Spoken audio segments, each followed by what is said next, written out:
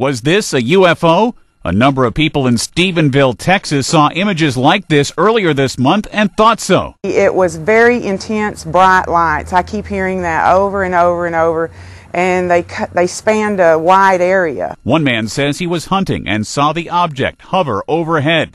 And I did just like this, and I could see it. And if you look at the trees, you know, it's right here. I mean, it's 300 foot up, right here.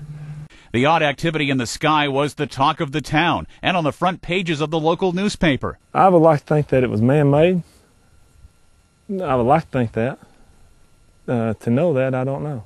But the 301st Fighter Wing at the Joint Reserve Base Naval Air Station says it was responsible.